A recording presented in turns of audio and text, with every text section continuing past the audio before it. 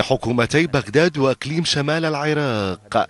كانت الأولى تدعو لطاولة الحوار الصريح لكن الأخيرة تقلل من أهمية الحوار.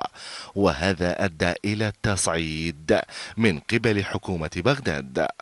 ليس شريفا كل من يداعي بالتجزئة والانفصال وهي حقا ليس بمصلحة أي فريق يدعو لهذا النوع من السياسة. قوتنا في وحدة العراق وفي نصرة الإنسان العراقي. وبعد سيطرة القوات الاتحادية على كركوك إقليم الشمال يتراجع عن موقفه ويدعو إلى العودة لطاولة الحوار مرة أخرى لتفكيك الأزمة.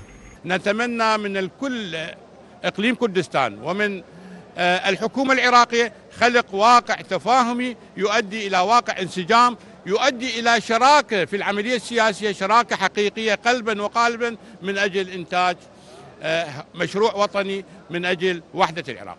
وعلى أي حال فإن رئيس مجلس الوزراء حيدر العبادي شدد على أهمية الحوار القائم على أسس دستورية وقانونية تحفظ وحدة البلاد.